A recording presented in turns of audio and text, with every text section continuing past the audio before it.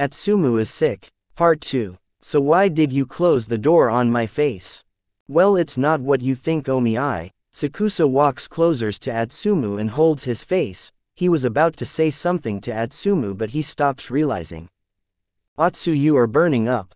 You a fever. Yeah, what are you standing here for? Go to bed. This is the reason why I didn't wanted to tell him.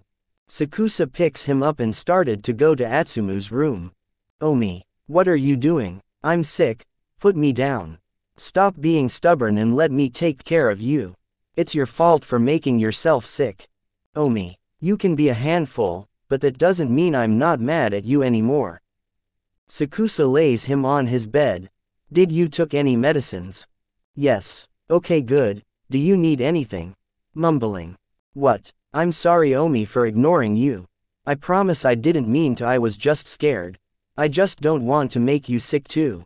I know, but we promise that we will share everything to each other when we started dating. Yeah, so please don't hide anything again. You, not talking to me makes me feel anxious. Cute. Omi come closer. Atsumu whispers. Hmm. Want to tell me something?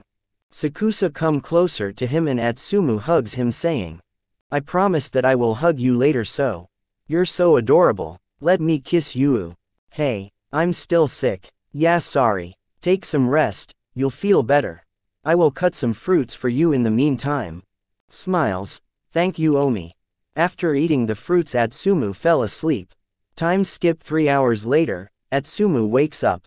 Both of them are in the bed. Atsumu's head was on top of Sakusa's chest. And Sakusa was leaning on the headboard reading a book on one hand, and with the other hand was playing with Atsumu's hair. Was I asleep on your chest the whole time?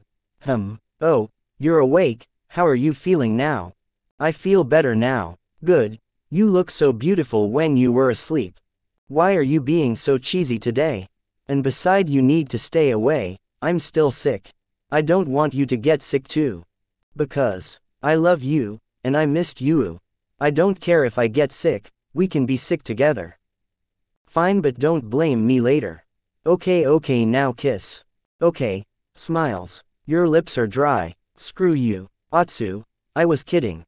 So, Atsu, when did you get sick? Did it start today?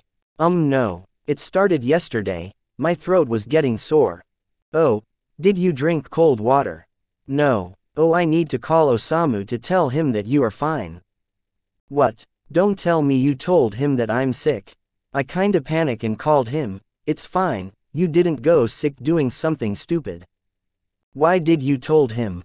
Yeah Atsumu why didn't you told me that you are sick? Suddenly I realized that I need to puke, I will just jump out of the window don't mind me. Don't move a muscle. I left you alone for two days. Osamu calm down. I'm sure that he didn't do this on purpose. Yeah, tell me what you did. So you ate ice cream all night long because you missed Osamu? You could just call me we could hang out. I'm sorry. Stop crying Tsumu, that's why I didn't wanted to leave you alone. You're not mad. Being mad will not do you any good.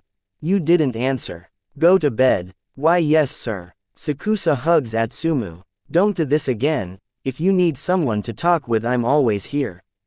Omi. Some days later Atsumu is alive and well so, no need to worry anymore.